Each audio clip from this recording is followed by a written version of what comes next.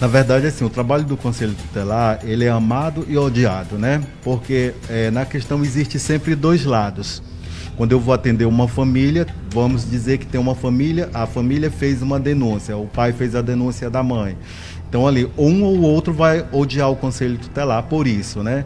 E a gente assim, a gente como Conselho Tutelar, nós passamos por risco direto, risco de vida mesmo, entendeu?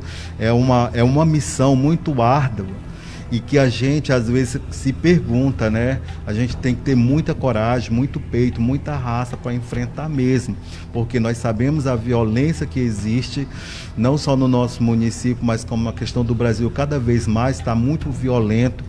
Então, se você entra em famílias, nos seios familiares, que é uma coisa sagrada, você entra na casa das pessoas, então ali você pode estar tá gerando várias outras situações é, e acabando sendo mal interpretado por alguma das partes.